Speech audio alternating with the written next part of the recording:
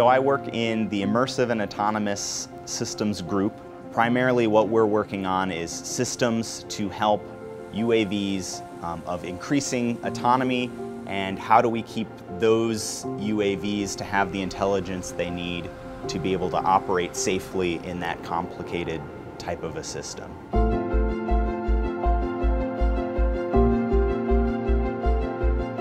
What we're really able to do because of our heritage in manned aviation is know about how to make a safe system safe and how do we bring that into that UAV context. And I think doing that sets us apart in the marketplace. It provides an advantage to us, not just business-wise, but I think it also tackles that problem of the public perception about can we trust these systems to be operating near us? Can we trust them to be operating near our sensitive infrastructure? And be confident that as a passenger of a manned aircraft, that we trust that the unmanned aircraft in the airspace are going to play safely.